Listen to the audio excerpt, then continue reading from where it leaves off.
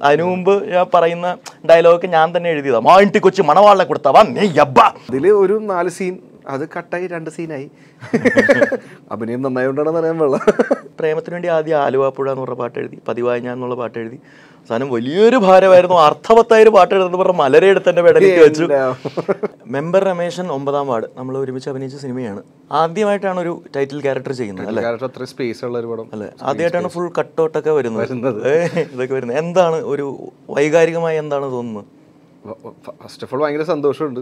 കാരണം ഈ ഒരു നിലയിലേക്ക് എത്തുന്ന ഒരിക്കലും വിചാരിച്ചിട്ടുണ്ടായില്ല. പിന്നെ രണ്ടാമെന്ന് വെച്ചാൽ ഇങ്ങനത്തെ ഒരു സബ്ജക്റ്റാണ് ഒരു ഫാമിലി പരിപാടിയാണ് നാട്ടിൽ നടക്കുന്ന സബ്ജക്റ്റാണ് ഒരു മെമ്പറിന്റെ ഇഷ്യൂസൊക്കെ എന്തൊക്കെ ഫേസ് ചെയ്യണം എന്നുള്ള കാര്യങ്ങളൊക്കെ പറഞ്ഞു പോകുന്ന ഒരു സബ്ജക്റ്റും കൂടിയാണ്. പിന്നെ കുറേ പേർക്ക് ഇത് ആവും ആവുമെന്നുള്ളൊരു വിശ്വാസം കൂടിയുണ്ട്. ഒരു റിയൽ ലൈഫ് സ്റ്റോറിയും കൂടിയാണല്ലോ. അതെ. അപ്പോൾ അതിന്റെ ഒരു സന്തോഷമുണ്ട് ഞാൻ ഇന്നും ഓർക്കുന്നുണ്ട് ആക്ച്വലി നമ്മൾ ഈ ബൈക്കിലൊക്കെ പോയിക്കൊണ്ടിരി പോയിക്കൊണ്ടിരുന്ന ഒരു ഒരു സീക്വൻസ് എടുത്തുകൊണ്ടിരുന്നപ്പോൾ കയറി കയറി എന്ന് പറഞ്ഞപ്പോൾ തിരിഞ്ഞ് എന്നോട് പറഞ്ഞു ആദ്യമായിട്ടാണ് ക്യാമറയുടെ മുമ്പിൽ നിൽക്കാൻ വേണ്ടിയിട്ട് പറയുന്നത്. പുറകിൽ ഏതെങ്കിലും പക്ഷെ ആ വളർച്ച ശരിക്കും എൻജോയ് ചെയ്യുന്നുണ്ട്. ആ അല്ലേ? സത്യമായിട്ടും. നമ്മൾ ഒരു ഉത്തരവാദിത്തം കൂടിയാണ്. ഉത്തരവാദിത്തം എന്ന് പറയുമ്പോൾ ഇങ്ങനെ ഒരു മേജർ പരിപാടിയിൽ കയറുമ്പോൾ അതിന്റെ ടെൻഷൻ ഉണ്ട് അതിന്റെതായിട്ടുള്ള ടെൻഷൻ ഉണ്ട്. അതെ. പക്ഷേ മൊത്തത്തിലൊരു ടീം വർക്ക് ആണല്ലോ. അതെ. എന്റെ പെടലിക്കാണ് ഇരിക്കുന്നതെന്ന ഒരു ആ ഒരു ഫീൽ ഇല്ല. പക്ഷെ എന്നാലും ടെൻഷൻ നമ്മൾ ഇത്രയും ഒരു സ്പേസിലേക്ക് വന്നിട്ട് ആൾക്കാർ അത് ഏറ്റെടുക്കോ ഇല്ല എന്നുള്ള ടെൻഷനാണ് ഏറ്റവും കൂടുതൽ. പക്ഷെ അതിന്റെ ആവശ്യമില്ല. കാരണം അത്രയും വലിയ ഒരു സിമ്പിൾ പരിപാടി എന്നെ കൊണ്ട് പറ്റുന്ന ഒരു വിശ്വാസം എനിക്ക് സബ്ജക്ട് കേട്ടപ്പോൾ വലിയ പ്രശ്നങ്ങളില്ലാത്ത സിമ്പിൾ ആയിട്ട് കണ്ടുപോകാൻ പറ്റിയ ഒരു പടമായിട്ടാണ് ആയതുകൊണ്ട് കുഴപ്പമില്ല ഇല്ല. ഇപ്പൊ കുറെ പടങ്ങൾ ചെയ്തു. അതിൽ പാട്ട് എഴുതിയിട്ടുണ്ട്. പാട്ട് പാടിയിട്ടുണ്ട് കുറെ പടത്തിലൊക്കെ. അപ്പോൾ അഭിനയമാണോ മ്യൂസിക് ആണോ കൂടുതലും താല്പര്യം? അഭിനയിക്കാൻ വേണ്ടി മാത്രമാണ് ശരിക്കും പറഞ്ഞാൽ വന്നത്. വന്നതല്ലേ? നമ്മൾ ഈ കമ്പനി സിനിമാ കമ്പനി തുടങ്ങുമ്പോൾ ഞാനും കിച്ചും അൽഫോൺസും മാത്രമേ ഉള്ളൂ. അപ്പോൾ ആദ്യത്തെ ഷോർട്ട് ഫിലിം ചെയ്യാൻ അൽഫോൺസ് പഠിച്ചിറങ്ങി. ഞങ്ങൾ ഫൈനൽ ഇയർ പഠിക്കുമ്പോൾ ഞാൻ സി അല്ലല്ല ഇവിടെ ഇവിടെ. അത് കഴിഞ്ഞിട്ടാണ് ചെന്നൈ ചിന്തയൊക്കെ വരുന്നതൊക്കെ. ചെന്നൈയിലേക്ക് പോകണം എന്നൊക്കെ ഉള്ളത് അത് കഴിഞ്ഞിട്ടാണ് വരുന്നത്. അത് ഇവിടെ M E S college Marampally. അവിടെ ഞാനും കിച്ചും ബി കോം ആയിരുന്നു. അവൻ ബി സി ആയിരുന്നു. ഒരു വർഷം സീനിയറും ആയിരുന്നു. അപ്പം രണ്ടായിരത്തി അഞ്ചിലാണ് അഞ്ചിലാണ് ഇത് അൽഫോൺസ് ഇങ്ങനെ വന്നിട്ട് നമുക്കൊരു ഷോർട്ട് ഫിലിം ചെയ്യാം എന്ന് പറഞ്ഞു അപ്പം ഞാനാണ് നായകൻ. അതിന്റെ തിരക്കഥയും ഞാനാണ്. അപ്പോൾ എനിക്ക് അന്ന് തൊട്ടേ ഇത് അഭിനയം തിരക്കഥ ഇത് രണ്ടുമായിരുന്നു അന്ന് തൊട്ടേ ക്രേസ്. വളരെ ലേറ്റായിട്ട് പിന്നീട് ഞങ്ങൾ ചെന്നൈയിലേക്ക് പോയി. ഞാൻ അൽഫോൺസ് ചെന്നൈയിലേക്ക് പഠിക്കാൻ വേണ്ടി പോയി. അത് കഴിഞ്ഞ് അവിടെ കുറേ ഷോർട്ട് ഫിലിംസ് ഒക്കെ ചെയ്തു. നേരം സിനിമ ഓണായി. ഓണായി കഴിഞ്ഞു കഴിഞ്ഞപ്പോൾ ആദ്യം പാടുന്നത് ഈ തക തക ചുവട്ടെടുത്ത് മറ്റേ മോഷ്ടിച്ചുകൊണ്ട് പോകുമ്പോൾ ഓട്ടത്തിലുള്ള ആ. പാട്ടാണ് ആദ്യം പാടുന്നത്. അത് കഴിഞ്ഞ് എഡിറ്റിംഗ് ടേബിളിൽ വെച്ചാണ് പിസ്ത ഉണ്ടാവുന്നത്. പിസ്ത എന്ന് പറഞ്ഞാൽ ഈ ജഗതിച്ചേണ്ട പാട്ടാണല്ലോ. അത് അവിടെ ഇവിടെയൊക്കെ ത- തട്ടി പാടുന്ന സഭകളിൽ പാടുന്നതാണ്. അപ്പോൾ അതിന്റെ ഇതിന്റെ ഒപ്പം ട്യൂൺ ഓൾറെഡി ഉണ്ടായിരുന്നു. തന്തന തന്തന എന്നും പറഞ്ഞ് രാജേഷ് ഓൾറെഡി ചെയ്തു വെച്ചിരുന്നു. അതിന്റെ ഒപ്പം ഇതൊന്ന് ചേർക്കാൻ പറ്റുമോ എന്ന് അൽഫോൺസ് ചോദിച്ചാൽ അത് ചേർന്നു കറക്റ്റായിട്ട് ചേർന്നു. അതിന്റെ ബാക്കി നീ അങ്ങനെ എഴുതിക്കോ പക്ഷെ ഒറ്റ കാര്യമുള്ളൂ അർത്ഥം ഉണ്ടാവാൻ പാടില്ല. എന്ന് പറഞ്ഞിട്ട് ഞാൻ മറ്റേ എന്താ പറയുക ആധുനികം വേണമെന്ന് പറഞ്ഞപ്പോൾ ഞാൻ വീട്ടിൽ പോയിരുന്നു അതെ ഡസ്കിനൊക്കെ ഡേ ഡേ നനക്കിനൊക്കെ ഡേ ഡേ എന്നൊക്കെ പറഞ്ഞ് എഴുതി കൊടുത്തപ്പോൾ ഇവരെല്ലാവരും ഓക്കെ പറഞ്ഞു. പക്ഷെ ആ വാക്കുകൾ ഇപ്പോഴും നമ്മുടെ വായിലുണ്ട്. അതെ അതെ അതന്ന് എഴുതുന്ന സമയത്ത് അതെ ഡേ ഡേ ഡേ. അന്ന് എഴുതുന്ന സമയത്തും അതൊന്നും ഒരിക്കലും മനസ്സിലുണ്ടായിരുന്നില്ല. അപ്പോഴും ഞാൻ ചിന്തിച്ചിട്ടില്ല ഒരു ലിറിസിസ്റ്റ് ആയിട്ട് വരണമെന്നോ ഒരു പാട്ടുകാരനായിട്ട് വരണമെന്നോ ചിന്തിച്ചിട്ടില്ല. അപ്പോഴും അഭിനയം തന്നെ. അതിനുശേഷം പ്രേമം ഓണായി കഴിഞ്ഞപ്പോൾ ഞാൻ അങ്ങോട്ട് ചോദിക്കായിരുന്നു. അപ്പോൾ ഓൾറെഡി പ്രേമത്തിലേക്ക് പ്രേമത്തിന് വേണ്ടി അല്ലാണ്ട് പ്രേമത്തിലുള്ള രണ്ട് പാട്ടുകൾ ഓൾറെഡി ഞാൻ ചെയ്തു വെച്ചിട്ടുണ്ടായിരുന്നു. സീൻ കോൺട്രയും കലിപ്പും അത് ചുമ്മാ ഇങ്ങനെ ഇതേപോലെ ഒരു ഡെസ്ക് തട്ടി പാട്ടായിരുന്നു. അത് സിനിമയിലേക്ക് എടുക്കുകയും പിന്നെ ഞാൻ തന്നെ ചോദിക്കുകയായിരുന്നു ഞാൻ ഇതിലെ പാട്ടുകൾ എഴുതി കൊടുക്കുന്നുണ്ട് അൽഫോൺസ് ഞാൻ ഞാൻ എന്ത് ചോദിച്ചാൽ അൽഫോൺസ് തരുന്ന ഒരാളാണ്. അങ്ങനെ അൽഫോൺസ് ഓക്കെ പറഞ്ഞു. അങ്ങനെ പ്രേമത്തിന് വേണ്ടി ആദ്യം ആലുവാപ്പുഴ എന്ന് പറഞ്ഞ പാട്ട് എഴുതി പതിവായി ഞാൻ എന്നുള്ള പാട്ട് എഴുതി. അവസാനം വലിയൊരു ഭാരമായിരുന്നു. അർത്ഥവത്തായൊരു പാട്ട് എഴുതുന്നത് പറഞ്ഞ മലരെടുത്ത് എന്റെ പെടലിക്ക് വെച്ചു. അതിന്റെ ടെൻഷൻ ഭയങ്കരമായിരുന്നു. കാരണം എന്താണെന്ന് വെച്ച് കഴിഞ്ഞാൽ ഞാൻ എനിക്ക് രാവിലെ ആറു മണിക്ക് എണീറ്റ് അഭിനയിക്കാൻ പോകണം അത് വന്നിട്ട് എഴുതണം. ഇതാണെങ്കിൽ ഓരോ ദിവസമാണെങ്കിൽ ഇവൻ ദേ അതിന്റെ ഷൂട്ട് ഇത് ലിപ്പുള്ള പാട്ടുകളാണ്. എല്ലാം ലിപ്പാണ്. അപ്പൊ ഷൂട്ട് ആവാറായി ആവാറായി ആവാറായി എന്ന് പറഞ്ഞ് പിന്നെ അതിന്റെ ടെൻഷനിൽ ഇരുന്നിരുന്ന ആ ഒരു ടെൻഷനിലുണ്ടായ പാട്ടാണ്. പക്ഷെ അത് ഭയങ്കരമായിട്ട് ഗുണം ചെയ്തു. അങ്ങനെയാണ് ഇതിലേക്ക് വന്നത്. അത് ഇപ്പൊ എൻജോയ് ചെയ്യുന്നു ശരിക്കും പറഞ്ഞു കഴിഞ്ഞാൽ ഇപ്പം മെമ്പർ എല്ലാ പാട്ടുകളും അതെ എല്ലാ പാട്ടുകളും എഴുതി. പക്ഷേ അഭിനയിക്കാൻ തന്നെയാണ് ഏറ്റവും കൂടുതൽ താല്പര്യം. തീർച്ചയായിട്ടും അത് ഇനി പിന്നീട് ഒരു ഒരുപാട് പടങ്ങളിൽ ഇതൊരു വളരെ ചുരുക്കം പടങ്ങളിലെ ഇതും കൂടി പ്ലസ് ആയിട്ട് വരാറുള്ളൂ. ബാക്കി പടങ്ങളിലൊക്കെ ഇപ്പൊ കൂടുതലും ആക്ടിങ്ങിന് തന്നെയാണ് വിളിക്കുന്നത്. പക്ഷെ ആക്ടിങ്ങിന് വിളിക്കുന്ന പല പേർക്കും അറിഞ്ഞൂടെ ഈ പാട്ടുകളൊക്കെ ഞാൻ എഴുതാൻ ഞാൻ പറഞ്ഞു കൊടുക്കണം. അപ്പൊ മനുഷ്യരെ ഇപ്പൊ നമ്മളവിടെ ആക്ടിംഗ് ആണ് ഇഷ്ടം എന്ന് പറഞ്ഞാൽ അവിടെ ചെല്ലുമ്പോൾ നമ്മളെ അപ്പൊ ഞാൻ ലിറിക്സ് എഴുതുന്ന നിനക്ക് അറിഞ്ഞൂടെ? ചോദിക്കേണ്ടി വരും. ആ അതെ. അതിൽ പലതും അറിഞ്ഞൂടാ. ഏതാണ് ആദ്യത്തെ ക്യാമറമാൻസ് ആദ്യമായിട്ട് അഭിനയിക്കുന്നത്? ഫസ്റ്റ് ഷോട്ട് എടുക്കുന്നത് നമ്മുടെ ലോഹിദാസ് സാറിന്റെ വീട് തറവാട്ടിന് മുമ്പിൽ ഒറ്റപ്പാലത്ത്. ഞാൻ റിമ ചേച്ചി ഉണ്ട് അപ്പോൾ ആ ഒരു സീനാണ് എന്റെ ഫസ്റ്റ് ഷോട്ട് ചെറുപ്പത്തിൽ ചെറുപ്പ ലെവൻത്ത് കഴിഞ്ഞ് നിൽക്കണം ലെവൻത്ത് കഴിഞ്ഞ് നിൽക്കുന്ന സമയത്ത്. വന്നിട്ട് പത്ത് വർഷമായി ഓ രണ്ടായിരത്തി പന്ത്രണ്ട് ആണ് ഫസ്റ്റ് പടം റിലീസ് അപ്പം അവിടെ അവിടെ നിന്ന് ഇവിടം വരെ എത്തി. എന്തായാലും ഒരു മെയിൻ ക്യാരക്ടർ തന്നെയായിരുന്നു. അത് ഏതായിരുന്നു ഇല്ലില്ല അതിലെ നാല് സീൻ ഓർക്കുട്ടൊരു ഓർമ്മക്കൂട്ടുന്ന പടത്തിൽ മനോജ് ചേട്ടൻ ഡയറക്ട് ചെയ്ത പടമാണ്.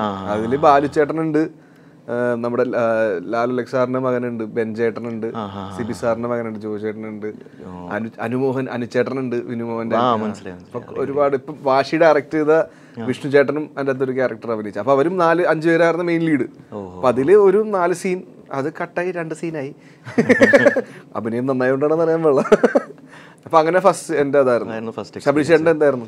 എന്റെ ക്യാമറ ഞാൻ പറഞ്ഞില്ലേ രണ്ടായിരത്തി അഞ്ചിലെ ഷോർട്ട് ഫിലിമാണ് ആദ്യത്തെ എക്സ്പീരിയൻസ് അപ്പം സി പ്രേമം വരെയും ഒരു ടെൻഷൻ ഇല്ലെന്നേ. കാരണം ഇതെല്ലാം അറിയാവുന്ന ആൾക്കാർ എല്ലാം ഒപ്പം പഠിച്ചിട്ടുള്ള ആൾക്കാർ നമ്മൾക്കൊരു നേരം ഒട്ടും ഉണ്ടായിരുന്നില്ല. പ്രേമം എന്ന് പറഞ്ഞപ്പോഴേക്കും ഒരു പ്രൊഡ്യൂസർ ഫിലിം സെറ്റപ്പ് ആദ്യമായിട്ടാണ് കാണുന്നത്. ഓക്കെ ഒരു പ്രൊഡ്യൂസർ അൻവർ റഷീദ് എന്ന് പറഞ്ഞ പ്രൊഡ്യൂസർ വരുന്നു. ഫിലിം സെറ്റപ്പ് ആവുന്നു. കുറച്ചും കൂടി സിസ്റ്റമാറ്റിക് ആയിട്ടുള്ളൊരു ഫിലിം മേക്കിങ്ങിലേക്ക് കടന്നു. എങ്കിലും നമുക്ക് കാര്യമില്ല. കാരണം എല്ലാം അടുത്തറിയുന്ന ആൾക്കാർ വർക്ക് ചെയ്യുമ്പോൾ എല്ലാവരും എഴുപത്തഞ്ച് ശതമാനം അറിയാവുന്ന ആൾക്കാരാണ്. അപ്പാർട്ട് ഫ്രം സൗബിനെയും വിനയനെയും പിന്നെ നായികമാരെയൊക്കെ ആണ്.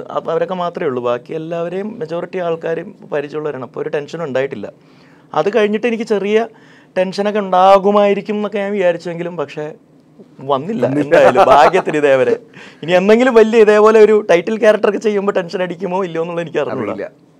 അത് വരുന്ന വഴിക്ക് വെച്ച് കാണാം. ഇപ്പൊ കുറെ പാട്ടൊക്കെ എഴുതിയിട്ടുണ്ടല്ലോ. അപ്പൊ അതിൽ എഴുതിയ മിക്ക പാട്ടുകളും ട്രെൻഡിങ് ആയിട്ടുണ്ട്. പിസ്ത ആയാലും സീൻ കോൺട്ര ആയാലും അലര ആയാലും. അതെ ഉണ്ട് നിങ്ങൾ എന്നെ ട്രെൻഡ് അടിക്കണത് ഇതൊക്കെ? തേങ്ങാ കൊല ട്രെൻഡ് അടിക്കണമെന്നും പറഞ്ഞ ഒരു പാട്ട് ഞാൻ ഇതേവരെ എഴുതിയിട്ടില്ല എന്ന് പറഞ്ഞാൽ എന്റെ അടുത്ത് ഡയറക്ടർ പറയുമ്പോൾ ഞാനതിന് വേണ്ടി ശ്രമിക്കുന്നു അത് എങ്ങനെയൊക്കെയോ ട്രെൻഡ് ആകുന്നു സോ ഇതൊരു വൺ മാൻ ഷോ അല്ലല്ലോ. അൾട്ടിമേറ്റ്ലി സിനിമ എന്ന് പറഞ്ഞാൽ ഒരിക്കലും ഒരാളുടെ ഇതല്ല. അതിന്റെ അകത്ത് വിഷ്വൽ ആഡ് ആവും. പല പല പല പല എലമെന്റ്സ് ആഡ് ആയി കഴിഞ്ഞിട്ടാണ് ഇത് പക്ഷെ എന്നാലും ആൾക്കാർക്ക് പാടി നടക്കാൻ പറ്റിയ വാക്കുകൾ കറക്റ്റായിട്ട് നിങ്ങൾ പിടിച്ചിട്ടുണ്ട് ഭാഗ്യം എന്ന് മാത്രം ദീപം എന്ന് പറഞ്ഞ രക്ഷപ്പെട്ടു രക്ഷപ്പെട്ടു. അത്രേ ഉള്ളൂ. ഇനിയുള്ള ജീവിതം അങ്ങനെ തന്നെ ആവട്ടെ. കറക്റ്റ് ആയിട്ട്. ഈ അജഗജാന്ത്രത്തിലെ കണ്ണൻ എന്ന് പറഞ്ഞു കഴിഞ്ഞാൽ ഒരു ടെറർ ക്യാരക്ടർ ആയിരുന്നു. ഊള. അതെ ഒരു ഊള എന്നുള്ളതായിരുന്നു. ആ ഒരു ക്യാരക്ടറിൽ നിന്ന് മെമ്പർ രമേശിലേക്ക് വരുമ്പോൾ ഏതായിരുന്നു ആദ്യം ഷൂട്ട് അജയ് ചന്ദ്ര ആയിരുന്നു ആദ്യം. അജഗജാന്ത്ര കഴിഞ്ഞിട്ട് നേരെ നെക്സ്റ്റ് മെമ്പർ രമേശിലേക്കായിരുന്നു വരുന്നത്. അപ്പം എന്തായിരുന്നു ആ വ്യത്യാസം? വളരെ രസമുള്ള വ്യത്യാസം എനിക്ക് ഫീൽ ചെയ്തായിരുന്നു. കാരണം കണ്ണൻ ചെയ്യുമ്പോൾ ഫുൾ ഡാർക്ക് പിന്നെ അവനൊരു പവർ കൊടുക്കുന്നുണ്ട് ഓഡിയൻസിന് കാണാൻ വേണ്ടി. ഡയറക്ടർ ഒരു സ്പേസ് കൊടുക്കുന്നുണ്ട് പവർ കാണിക്കാനായിട്ട്. ആ അവർ നമ്മൾ സാധാരണ കാണിച്ച ഒരാളും മൈൻഡ് ചെയ്യില്ല പക്ഷെ നമുക്ക് ആ ഒരു ഫീൽ കിട്ടും നമ്മളെ കൊണ്ട് ചെയ്യാൻ പറ്റും എന്നുള്ളൊരു പരിപാടി കിട്ടി കഴിയുമ്പോൾ നമ്മൾ ഓൾറെഡി കണ്ണനിലേക്ക് ആയി ആ ഒരു പോയിന്റിലേക്ക് പിടിച്ചിട്ടു ടിനിച്ചേട്ടൻ ചേട്ടനും ആ ഫുൾ ക്രൂ നമുക്ക് ആ ഏരിയ നിൽക്കുമ്പോൾ തന്നെ ആ- ഡ്രസ്സിംഗ് ഡ്രസ്സിങ് സ്റ്റൈലും റെഡും മുണ്ടും കറുത്ത അല്ലല്ല ജിൻഡോ എന്ന് പറഞ്ഞിട്ട് ഗിരീഷേട്ടൻ ജിൻഡോ. അപ്പൊ അത് കണ്ണൻ ചെയ്യുമ്പോൾ തന്നെ ഭയങ്കര എനിക്ക് ഒന്നാമത് നെഗറ്റീവ് ക്യാരക്ടേഴ്സ് ഭയങ്കര ഇഷ്ടമാണ് വരത്തിന് കഴിഞ്ഞൂടെ ഭയങ്കര ഇഷ്ടമാണ് ചെയ്യാനായിട്ട്. അപ്പൊ എനിക്ക് കുറച്ചുകൂടി സ്പേസ് കിട്ടിയത് കണ്ണനിലാണ് ചെയ്യാൻ. കുറച്ചും കൂടി പവർഫുൾ ആയിട്ടുള്ള ക്യാരക്ടർ അപ്പൊ അത് കഴിഞ്ഞ് നേരെ വന്നത് Late ആയി. ഒരു പാവത്താനും. അവൻ അവന്റെ ജീവിതം നോക്കി പെട്ട് കഴിയുമ്പോഴും മനസ്സിലാണ് പെട്ടെന്നുള്ളത്. പെട്ടെന്നുള്ളത്, അതെ. അതുവരെ ഇവന് ഓക്കെയാണ് ആക്ടർ തീർച്ചയായിട്ടും. മാറ്റി പിടിക്കാൻ പറ്റും എന്നുള്ളൊരു കാര്യം മനസ്സിലായത് ആ പോയിന്റിലൊക്കെയാണ് പിന്നെ കൂടെ എല്ലാവരും ഉണ്ടായിരുന്നല്ല കാര്യം. റിയൽ ലൈഫ് ക്യാരക്ടറും കൂടെയാണ്. അപ്പൊ അവന്മാർക്ക് അറിയാം എന്റെ മീറ്റർ എന്താണെന്ന് അറിയാം ഇവർ കണ്ടു. അവിടുത്തെ കുറെ ക്യാരക്ടേഴ്സ് ഇവന്മാർ എഴുതി വെച്ചതും കണ്ടിട്ട് തന്നെയൊക്കെ അല്ലേ? അപ്പൊ അതിന്റെ ഒരു സുഖം ഉണ്ടായിരുന്നു വർക്ക് ചെയ്യുമ്പോൾ ഇപ്പൊ ഞാൻ നേരത്തെ സംസാരിച്ചില്ല ഭീമന്റെ വഴി നിങ്ങൾ പൊളിച്ചെന്നുള്ളത്? അതെ അതെ അപ്പൊ ആ പടം ചെയ്യുമ്പോ നി- നിങ്ങൾക്ക് എന്തെങ്കിലും ആരെങ്കിലൊക്കെ മനസ്സിൽ കണ്ടിട്ടുണ്ടായിരുന്നു? അത് ഭയങ്കര കോമഡിയാണ് ഞാൻ അന്താക്ഷരി എന്ന് പറഞ്ഞൊരു പടം ഇനി വരാൻ പോകുന്നേ ഉള്ളൂ. അത് മുദ്ദുഗോവിന്റെ ഡയറക്ടർ വിപിൻ ദാസ് ചെയ്തിരിക്കുന്നത് അതിന്റെ ഷൂട്ടൊക്കെ കഴിഞ്ഞിട്ട് ഞാൻ ഇങ്ങനെ വർക്കലയിൽ ചില്ല് ചെയ്തുകൊണ്ടിരിക്കുമ്പോഴാണ് ചെമ്പൻ ചേട്ടൻ വിളിക്കുന്നത്. ചെമ്പൻ ചേട്ടൻ വിളിച്ചിട്ട് ഇങ്ങനെ ഒരു പരിപാടി ഉണ്ട്. നിനക്ക് തെലുങ്കറിയോ? അവൻ പറഞ്ഞു തെലുങ്കറിയാം. നിനക്ക് തെലുങ്ക് തെലുസു. ചെപ്പണ്ടി എന്നൊക്കെ പറഞ്ഞു കഴിഞ്ഞപ്പോൾ ആ ഓക്കെ. ഒരു പരിപാടി ഉണ്ട്. നീ എപ്പോഴാണ് നാട്ടിലേക്ക് വരണമെന്ന് പറഞ്ഞിട്ട് എന്റെ അടുത്ത് ഇങ്ങനെ പറഞ്ഞു. അപ്പം പുള്ളി ക്യാരക്ടർ പറഞ്ഞ ഇതാണ്. ചെറിയൊരു ക്യാരക്ടറാണ് സംഭവം. പക്ഷേ ഒരു രസമുള്ളൊരു ക്യാരക്ടറാണ് എന്ന് പറഞ്ഞിട്ട് പറയുന്നത്. ഇയാൾ തെലുങ്ക് ആക്ടറാണ് അപ്പോൾ ഞാൻ ചില ആൾക്കാരുടെ പേര് പറഞ്ഞു അത് പറയുന്നില്ല. അത് ആൾക്കാരുടെ ഇവിടെ ഇവിടുത്തെ അതായത് മലയാളികളായിട്ടുള്ള ചില ആക്ടേഴ്സ് ഉണ്ടല്ലോ. ഇവർ തെലുങ്കിലും കന്നഡയിലൊക്കെ പോയി സൈക്കോ വില്ലന്റെ അനിയൻ അങ്ങനത്തെ അങ്ങനത്തെ ചില ക്യാരക്ടേഴ്സ് ഉണ്ടല്ലോ. അങ്ങനെ നിൽക്കുന്ന അങ്ങനെയൊക്കെ ചെയ്ത് അവിടെ അവിടുത്തെ ഇത് അവിടെ ജീവിച്ചു പോകുന്ന ഒരാളാണ്. പക്ഷെ പുള്ളി മെത്തേഡ് ആക്ടറാണ് പുള്ളി അവിടുന്ന് ഷൂട്ട് കഴിഞ്ഞാലും ആ ഇല്ല വിടില്ല. അടുത്ത കോൾ ഷീറ്റ് പുള്ളി ഓക്കെ തെലുങ്ക് പടത്തിൽ ഇന്ന ക്യാരക്ടറാണ് കിട്ടി. കഴിഞ്ഞാൽ പിറ്റേ ദിവസം ആ വേഷത്തിലാണ് പുള്ളി നടക്കുക. ഇടയ്ക്കിടയ്ക്ക് പുള്ളിക്ക് ആ ഭാഷ കയറി വരികയും ചെയ്യും. ഇത് വളരെ സിമ്പിളായിട്ട് എനിക്ക് ചെമ്പൻചേട്ടൻ പറഞ്ഞു തന്നു. അതിന്റെ അകത്തൊരു പ്ലസ് എന്താണെന്ന് വെച്ചാൽ എനിക്ക് ചെമ്പ ഏഹ്, ചെമ്പൻചേട്ടൻ ഒരു കാര്യം മാത്രമേ എന്റെ അടുത്ത് ചോദിച്ചുള്ളൂ. തെലുങ്ക് അറിയാവുന്ന അതെനിക്ക് അറിയാമായിരുന്നു. തെലുങ്ക് അറിയാമായിരുന്നുകൊണ്ട് എനിക്ക് വളരെ ഈസി ആയിരുന്നു. തെലുങ്ക് അറിയാം തെലുങ്ക് അറിയാം. അപ്പം അങ്ങനെയായിരുന്നു ആ ഇതൊക്കെ വന്നത്. മറ്റേ മറ്റത് ഇതിന്റെ അകത്തൊരു ക്യാരക്ടറിന്റെ പേര് പറയുന്നുണ്ട്. അത് പക്ഷെ തെലുങ്കല്ല അത് കന്നഡയാണ്. ബെക്കിനാക്കണ്ട് രാജേന്ദ്ര എന്ന് പറയുന്നത്. പൂച്ചക്കണ്ണൻ രാജേന്ദ്രൻ എന്നാണ് ശരിക്കും പറഞ്ഞ അർത്ഥം. അത് ചെമ്മൻചേട്ടൻ തന്നെ പറഞ്ഞു തന്നാണ് അതിനു മുമ്പ് ഞാൻ പറയുന്ന ഡയലോഗൊക്കെ ഞാൻ തന്നെ എഴുതിയതാ. മാണ്ടി കൊച്ചു മണവാളിനെ കൊടുത്തവാ നീ യബ്ബ എന്ന് പറയുന്ന സംഭവം. എന്ന് വെച്ചാൽ അതിന്റെ അർത്ഥം വളരെ സിമ്പിളാണ് എന്റെ വീട്ടിൽ കയറി എന്റെ ആൾക്കാരെ തന്നെ തല്ലുന്നു എന്റെ അപ്പന്റെ തെലുങ്ക് പറയുമ്പോൾ ഭയങ്കര പവറാണ് പക്ഷെ ഇതിന്റെ അർത്ഥം മലയാളത്തിൽ പറഞ്ഞാൽ കോമഡിയാണ് ഇത് എനിക്ക് തെലുങ്ക് ചെന്നൈ ജീവിതത്തിന്റെ ഇതാണ്. അവിടെ നിന്നാണ് തമിഴും തെലുങ്ക് ഒരുപാട് തെലുങ്ക് ആൾക്കാരുള്ള ഒരു സ്ഥലമാണ്. ഞാൻ തെലുങ്ക് പടങ്ങളിലൊക്കെ വർക്ക് ചെയ്തിട്ടുണ്ട്. കാർട്ടൂൺസ് തെലുങ്ക് ആദ്യം ഞാൻ സൗണ്ട് എഞ്ചിനീയർ ആയിരുന്നല്ലോ. അപ്പൊ ആദ്യം എന്നെ കൊണ്ടിരുത്തുന്നു മറ്റേ ചോട്ടാ ഭീം അങ്ങനെയുള്ള പരിപാടികളൊക്കെയാണ് ആദ്യം കൊണ്ടിരുത്തുന്നത് അപ്പൊ തെലുങ്കിലാണ് ആദ്യം ഇരുത്തുന്നത് അങ്ങനെ തെലുങ്ക് പഠിച്ചു. പിന്നെയാണ് സിനിമയിലേക്കൊക്കെ വരുന്നത്. വിണ്ണത്താണ്ടി ഒരുവയാണ് ആദ്യം വർക്ക് ചെയ്യുന്നത്. അപ്പൊ അങ്ങനെ അതിന്റെ തെലുങ്കും വർക്ക് ചെയ്തു. വിണ്ണത്താണ്ടി ഒരുവിടെ ആയ ജയസാവേ അതും വർക്ക് ചെയ്തിരുന്നു. അതെ തെലുങ്ക് ഇനി തെലുങ്ക് അതൊക്കെ കണ്ടിട്ട് ഞാൻ ചോദിക്കാറുണ്ട് തെലുങ്ക് ഇത് മെയിൻ പ്രശ്നം എന്ന് വെച്ചാൽ ഇത് ഞാനാണെന്ന് മനസ്സിലാവുമോ കാരണം ഇങ്ങനത്തെ കോലത്തിലൊക്കെ എന്ന് പറഞ്ഞാൽ പക്ഷെ അത് നിങ്ങൾക്കൊക്കെ മനസ്സിലായത് തന്നെ രസം തെലുങ്കന്മാരാരെങ്കിലും തെലുങ്ക് പടത്തിൽ വിചാരിച്ച് വിളിച്ചാൽ മതി അതെ. അതായത് കൊച്ചി പോണ ബ്രോട്ടപ്പാണ്. ഇവിടെ അച്ഛൻ ഇവിടുത്തെ വലിയൊരു നടനാണ്. അപ്പോൾ അത് അത് വിട്ട് കഴിഞ്ഞിട്ട് ഈ നാട് എത്രത്തോളം ഇൻഫ്ലുവൻസ് ചെയ്യുന്നുണ്ട്? നാടൻ ഭാഷ നാടൻ സ്ലാങ് ഇത് ഇൻഫ്ലുവൻസ് ആവാറുണ്ടോ ഡിസ്റ്റർബ് ആവാറുണ്ടോ? തുടക്കം നോക്കുമ്പോൾ പറവ. അത് ഭയങ്കര ഇൻഫ്ലുവൻസ് ചെയ്തിട്ടുണ്ട്. കാരണം കൊച്ചി സ്ലാങ് കൊച്ചി തന്നെയാണ് അതെ. അപ്പം അത് ഭയങ്കര രസമായിരുന്നു. പിന്നെ രണ്ടാമത് ചെയ്തതൊക്കെ അത് അത് കൊച്ചി ആയതുകൊണ്ട് എനിക്ക് സുഖമായിട്ട് ചെയ്യാൻ പറ്റി. സിങ് സൗണ്ടും കൂടിയായിരുന്നു.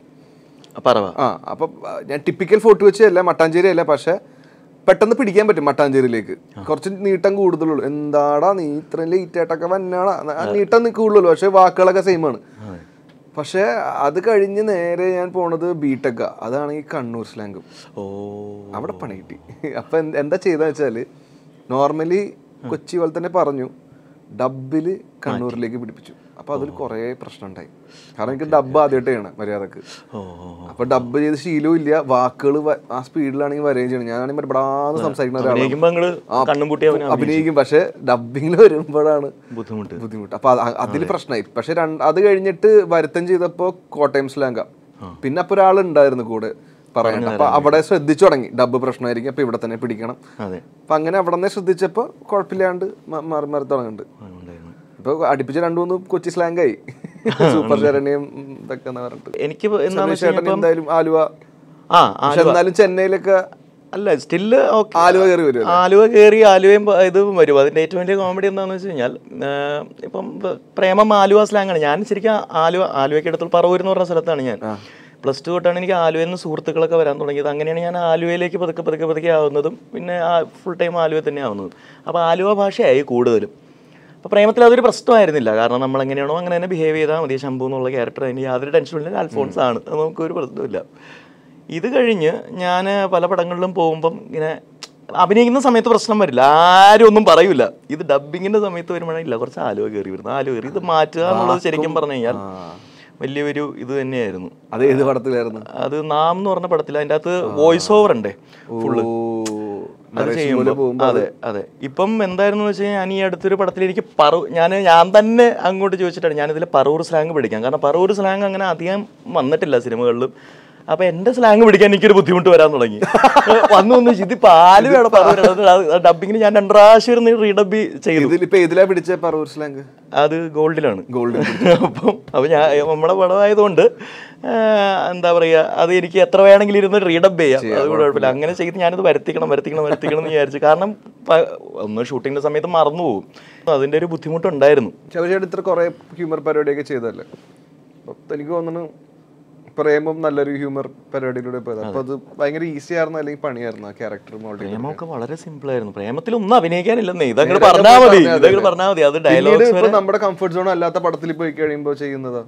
അപ്പോഴും എനിക്ക് അങ്ങനെ എന്താ പറയാ വലിയൊരു ഹ്യൂമറിനൊരു എന്താ പറയാ നമ്മൾ പഴയ ടൈപ്പ് ഹ്യൂമർ അല്ലല്ലോ ശരിക്കും പറഞ്ഞു നമ്മൾ നമ്മൾ ഇതേപോലെ കൗണ്ടറുകൾ പിന്നെ ഒപ്പം വരുന്ന ആർട്ടിസ്റ്റുകൾ അവരുടെ കംഫർട്ട് ആ അവർ നമുക്ക് ഈ കൊടുക്കൽ വാങ്ങലാണല്ലോ ഹ്യൂമർ എന്ന് പറഞ്ഞു കഴിഞ്ഞാൽ. നമ്മൾ പറഞ്ഞ ഒരു റിയാക്ഷൻ ഇല്ലാന്നുണ്ടെങ്കിൽ പിന്നെ നമ്മൾ എത്ര തലകുത്തി ഒന്ന് ഹ്യൂമർ പറഞ്ഞിട്ട് അത് ഹ്യൂമർ ആയിട്ട് തോന്നില്ല. റിയാക്ഷൻ എന്ന് പറഞ്ഞൊരു കാര്യം ഉണ്ടല്ലോ ഞാനിപ്പോ ഒരു ഡയലോഗ് പറഞ്ഞത് അച്ചു കൺസീവ് ചെയ്ത് കഴിഞ്ഞാലേ അത് ഹ്യൂമർ ഉള്ളൂ. റിയാക്ട് ചെയ്യാൻ പറ്റുള്ളൂ. ആ ആ റിയാക്ഷൻ ഇല്ലെങ്കിൽ അത് ഹ്യൂമർ ഇല്ല.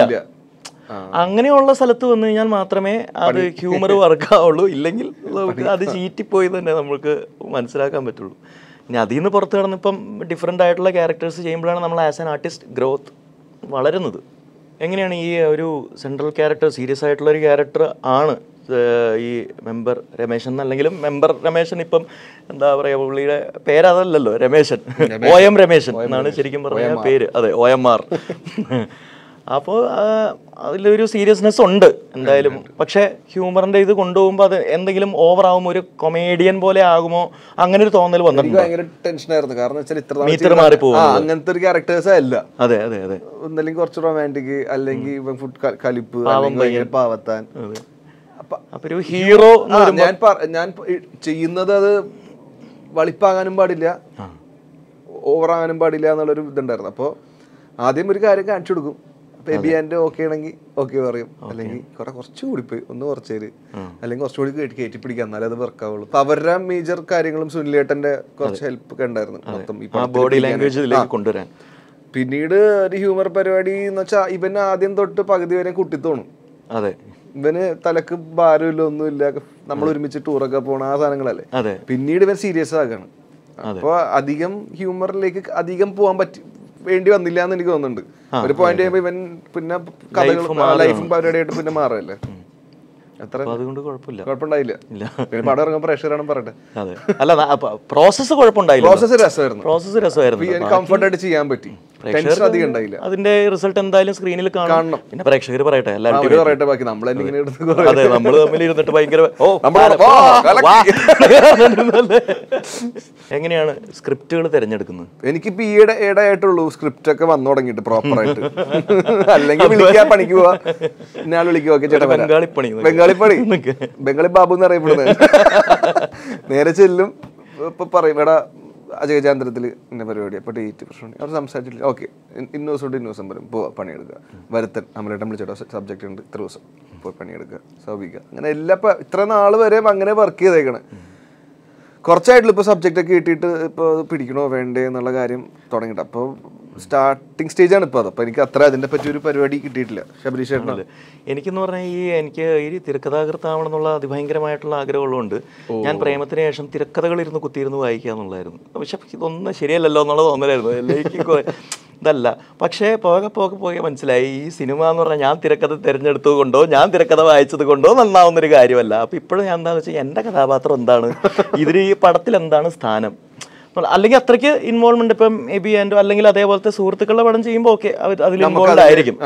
അതെ. അവരും കൂടി ചർച്ചയ്ക്ക് വിളിക്കും. അങ്ങനെയൊക്കെയാണ്. അത് വേറെ കാര്യം. അല്ലാണ്ട് പോകുമ്പം എന്താണ് എന്റെ ക്യാരക്ടർ ഈ ക്യാരക്ടറിന് ഈ കഥയിൽ എത്രത്തോളം സ്ഥാനമുണ്ട് എന്നുള്ളത് മാത്രമേ ഞാനിപ്പോൾ നോക്കാറുള്ളൂ. കൂടുതൽ ഭാരിച്ച ചുമതല എടുത്തിട്ട് കാര്യമില്ല എന്നുള്ളത് മനസ്സിലായി. പിന്നെ ഒന്നത് കൊറോണയൊക്കെയാണ്. ഒന്ന് കുറെ കാലം തിയേറ്റർ പൂട്ടിക്കിടന്നതിന്റെ ഒരു സങ്കടം തിയേറ്റർ മാത്രം പൂട്ടിക്കിടന്നതിന്റെ ഒരു സങ്കടം ബാക്കി ബാക്കിയെല്ലാം തുറന്നു അല്ലേ? അതിന്റെ ഒരു ബുദ്ധിമുട്ട്. പിന്നെ ഫിഫ്റ്റി പെർസെന്റേജ് അതെ നമ്മൾ സെക്കൻഡ് ഷോ ക്യാൻസൽ ചെയ്തു. സെക്കൻഡ് ഷോ ക്യാൻസൽ ചെയ്തു. അങ്ങനെ ഒരുപാട് അതെന്താണോ തിയേറ്ററിനോട് മാത്രം ഇത്രയ്ക്ക് ഒരു ബുദ്ധിമുട്ട് തോന്നുന്നു അറിഞ്ഞൂടാ. എന്തെങ്കിലും ശാസ്ത്രീയമായിട്ടുള്ള കാരണം ഉണ്ടാവുമായിരിക്കാം. നമ്മൾക്ക് അറിഞ്ഞൂടാ. നമ്മൾ പോളിടെക്നിക് ഒന്നും പഠിച്ചിട്ടില്ല അതെ. പക്ഷേ ഇപ്പം ആവാൻ പോകുന്നു കേട്ടല്ലോ. നൂറ് ശതമാനം ആക്കാൻ ആക്കാൻ പോകുന്നു പോകുന്നുണ്ട്. അപ്പൊ അതിന്റെ ഒരു സന്തോഷമുണ്ട് വളരെയധികം സന്തോഷമുണ്ട് പിന്നെ പ്ലാറ്റ്ഫോം ഭയങ്കര സജീവമായി എന്നുള്ളൊരു സന്തോഷമുണ്ട്. അതെ അതെ. കാരണം വെച്ചാൽ ഒരു സ്റ്റാർട്ടേഴ്സ് എന്നുള്ള രീതി ആയാലും അവർക്ക് ഒരു വേദി ഉണ്ടല്ലോ ഇപ്പൊ ഉണ്ട് അത് നല്ലത് തന്നെയാണ്. ശരിക്കും പറഞ്ഞാൽ സ്വിഗ്ഗിയുടെയും ഊബറിന്റെയും കാലമാണ്. സിനിമയും വീട്ടിലേക്ക് എത്തിച്ചു കൊടുത്തു കഴിഞ്ഞാൽ അതെ അതേപോലത്തെ ഒരു ഐറ്റം ആണ് അതെ അതെ. പിന്നെ സിനിമ അൾട്ടിമേറ്റ്ലി ഒരു തിയേറ്ററിക്കൽ എക്സ്പീരിയൻസ് എക്സ്പീരിയൻസ് ആണ്. എല്ലാ സിനിമകളും അങ്ങനെ ആവണമെന്നില്ല അല്ലേ? ചില പടങ്ങൾ നമ്മൾക്ക് തന്നെ നമുക്ക് തോന്നും ഓക്കെ ഇത് വീട്ടിൽ നിന്ന് കാണാൻ നമ്മൾ ചെയ്യുന്ന ചില പടങ്ങളായിക്കോട്ടെ നമ്മൾ ചിലപ്പോൾ തിയേറ്ററിൽ കാണുന്ന പടങ്ങളായിക്കോട്ടെ അല്ലെങ്കിൽ അതിന്റെ അഭിപ്രായങ്ങളിൽ നിന്ന് വരുമ്പോൾ ചില പടങ്ങൾ ശരിയല്ല. നമുക്ക് വാച്ചിങ് ഡിഫറെന്റ് സ്റ്റൈലായി ഇപ്പൊ. സ്റ്റൈലാണ്. അതെ അതെ. ബ്രേക്ക് എടുത്ത് ബ്രേക്ക് എടുത്ത് കാണാം മറ്റേ കുക്ക് ചെയ്തുകൊണ്ട് കാണുന്നു. തീർച്ചയായിട്ടും. സിനിമയുടെ സീരിയസ്നെസ് നഷ്ടപ്പെടുവോ അപ്പൊ അങ്ങനെ പോയി കഴിഞ്ഞാൽ? ഇല്ല പക്ഷെ എന്നാലും ഇപ്പൊ എല്ലാരും കേറുന്നുണ്ട് ഇപ്പൊ തിയേറ്ററിലേക്ക് ഇപ്പൊ സ്ട്രേറ്റ് ഒ ടി ടിയിൽ ഇറങ്ങിയ ഹോം ഇതൊക്കെ വളരെയധികം ചർച്ച ഞങ്ങൾ പൊള്ളാച്ചിയിൽ പോയപ്പോഴേക്കും അവിടുത്തെ തമിലിയൻസ് ഒക്കെ ബാസിനെ നോക്കിയിട്ട് ഹോമിൽ അഭിനയിച്ച ആൾ തന്നെ. വൺ റീച്ച് ആണ് കാരണം എല്ലാ ലാംഗ്വേജസ് ആൾക്കാർ കാണാൻ തുടങ്ങിയിട്ടുണ്ട് ഇപ്പൊ. ഗ്രേറ്റ് ഇന്ത്യൻ കിച്ചൺ എല്ലാ പരിപാടികളായാലും പല ലാംഗ്വേജിലെ ആൾക്കാരും മലയാള സിനിമകൾ അങ്ങനെ കാണുന്നുണ്ട്. ഇപ്പൊ തിയേറ്ററിൽ ഇറങ്ങിയ ചിലപ്പോൾ കാണാതിരിക്കില്ല അങ്ങനെ. ആയിരിക്കില്ല. ചിലപ്പോൾ നമുക്ക് പറയാൻ പറ്റില്ല. അല്ലേ? ഈ അടുത്തിറങ്ങി എനിക്ക് ഭയങ്കരമായിട്ട് ഇഷ്ടപ്പെട്ട ഒരു പടമാണ് ഭൂതകാലം. ഓ ഭയങ്കര രസമായിട്ട് അത് അറിഞ്ഞൂടാ. അത് എനിക്ക് തോന്നുന്നു അതും തിയേറ്ററിൽ ഒരു എക്സ്പീരിയൻസ് ആയിരിക്കാം. തിയേറ്ററിൽ എക്സ്പീരിയൻസ് പക്ഷേ ഈ അതെ പക്ഷേ ഹൊറർ പടത്തിൽ ഒരു പ്രശ്നം എന്ന് വെച്ചാൽ പേടിച്ച ആൾക്കാർ ഒച്ച ഉണ്ടാക്കും പറഞ്ഞ് അത് ഡിസ്റ്റർബ് ആവും. വേളുണ്ടാക്കുമ്പോ അത് ചിലപ്പോ ബാക്കി മര്യാദ കാണുന്ന എഫക്റ്റ് ആവും. അത് നല്ല കാര്യം ഒ ടി ടി തന്നെ വന്നു മൊറോവർ നമുക്ക് തിയേറ്റർ വേണം. തിയേറ്റർ വേണം. പിന്നെ തീർച്ചയായിട്ടും. ഒരാൾ പുതിയൊരു പടമൊക്കെ ചെയ്തിട്ട് അവനെ തിയേറ്ററിൽ നിന്ന് കയ്യടി കിട്ടുമ്പോൾ കിട്ടുന്നൊരു ആവേശം ഒരു സ്റ്റാർ ഉണ്ടാവുന്നത് വെള്ളിയാഴ്ചകളിലും തിയേറ്ററിൽ നിന്നാണ് ശരിക്കും. അപ്പൊ തിയേറ്റർ എന്തായാലും സിനിമ എന്ന് പറയുമ്പോ എന്തായാലും ആണ്. എന്തായാലും ഗോൾഡ് കഴിഞ്ഞിക്കല്ലേ അതെ. അതിനെപ്പറ്റി ഗോൾഡ് ഗോൾഡ് നമ്മുടെ കമ്പനി പടം എന്ന് വെച്ച് കഴിഞ്ഞാൽ അൽഫോൺസിന്റെ പടമാണ്. ഒരുപാട് കാലത്തിന് ശേഷം പ്രേമം കഴിഞ്ഞിട്ട് വേറൊരു പടത്തിന്റെ പ്രിപ്പറേഷനിലായിരുന്നു ആ ഗ്യാപ്പിലാണ് നമ്മൾ ഈ ഗോൾഡ് ചെയ്തത്. ആ അത് അനൗൺസ് ചെയ്ത പടം തന്നെയാണ്.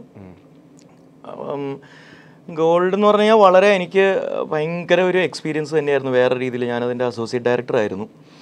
അതിൽ ഒരു ഫുൾ ലെങ്ത് ക്യാരക്ടറിനെ അഭിനയിക്കുന്നുമുണ്ട്. പാട്ടുകൾ എഴുതിയിട്ട് പാട്ട് പാടിയിട്ടുമുണ്ട് അപ്പം അതല്ലാണ്ട് ഈ ഒരുപാട് ആർട്ടിസ്റ്റുകളുള്ളൊരു പടമാണ്. പ്രധാനമായിട്ടും പത്തിരുപത് വർഷം ഇൻഡസ്ട്രിയിൽ ഉണ്ടായിരുന്ന ഒരു വലിയൊരു ആർട്ടിസ്റ്റാണ്.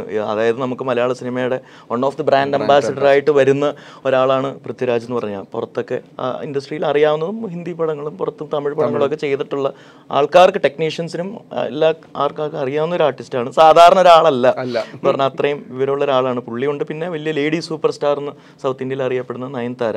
ഈ രണ്ടുപേര് തന്നെ ഭയങ്കര രസമുള്ള എക്സ്പീരിയൻസ് ആയിരുന്നു. രണ്ടുപേരിൽ നിന്ന് ഒരുപാട് ഒരുപാട് കാര്യങ്ങൾ നമുക്ക് പഠിക്കാനുണ്ടായിരുന്നു ഈവൻ ഇൻക്ലൂഡിങ് ആക്ടിങ് പ്രൊഫഷണലിസം എങ്ങനെയാണ് ഒരു സെറ്റിലേക്ക് വന്ന് പെരുമാറേണ്ടത് എങ്ങനെയൊക്കെയാണ് ഡീൽ ചെയ്യേണ്ടത് ഓരോ ഇതിൽ നിന്നുള്ള രണ്ടുപേരും ഭയങ്കര മാതൃകയായിരുന്നു. അത് പോരാത്തതിന് ഒരുപാട് ആർട്ടിസ്റ്റ് നമ്മുടെ പിള്ളേർ വിട്ട് കഴിഞ്ഞാൽ തന്നെ ബാക്കി സീനിയേഴ്സ് ആയിട്ടുള്ള ഒരുപാട് ആർട്ടിസ്റ്റുകളുണ്ട് ജൂനിയേഴ്സ് ആയിട്ട് ഇപ്പം നമ്മളുടെ ഒപ്പം വന്നിട്ടുള്ള വേറെ എന്റെ കൂട്ടുകാരല്ലാണ്ട് വേറെ ഉള്ള ആൾക്കാരും ഉണ്ട്. അത് അത്രയും ആൾക്കാരെ ഡീൽ ചെയ്യുക എന്നുള്ളൊരു ചുമതലയും കൂടി എനിക്കുണ്ടായിരുന്നു. എന്ന് പറഞ്ഞാൽ പകുതി കൂടുതൽ എനിക്ക് ഈസി ആയിരുന്നു. കാരണം പകുതി കൂടുതൽ ആർട്ടിസ്റ്റുകളായിട്ട് ഞാൻ അഭിനയിച്ചിട്ടുണ്ട് ഓൾറെഡി അപ്പോൾ ഇവരെല്ലാവരും എന്നെ ഒരു അറിയാം. അറിയാം. പിന്നെ ആർട്ടിസ്റ്റ് ആയിട്ടാണ് കാണുന്ന ഒരു ഡയറക്ഷൻ ഡിപ്പാർട്ട്മെന്റിലെ ഒരാളെന്നുള്ള രീതിയിൽ ആദ്യമായിട്ടാണ്. പക്ഷേ ഈ ഡബിങ്ങിന്റെ സമയത്തൊക്കെ ഞാൻ അങ്ങനെ കുറേ ആർട്ടിസ്റ്റായിട്ട് ഡീൽ ചെയ്യുന്നുണ്ട് അവിടെ വർക്ക് ചെയ്യുന്ന സമയത്ത്. പക്ഷെ ഇതൊരു പ്രത്യേക എക്സ്പീരിയൻസ് തന്നെയായിരുന്നു. ഇവർക്ക് അത് പറഞ്ഞു കൊടുക്കുക സീൻ പറഞ്ഞു കൊടുക്കുക കറക്റ്റായിട്ട് പറഞ്ഞു കൊടുക്കുക. ഇതിന്റെ ഒപ്പം തന്നെ ഞാൻ നിന്ന് അഭിനയിക്കുക എന്നുള്ളത് ഭയങ്കര രസമുള്ള ഒരു എക്സ്പീരിയൻസ് ഒരുപാട് കാര്യങ്ങൾ അതിൽ നിന്ന് പഠിക്കാൻ പറ്റി എന്നുള്ളതാണ് ഗോൾഡ് വലിയൊരു വലിയൊരു ചാപ്റ്റർ ആയിരുന്നു എനിക്ക്.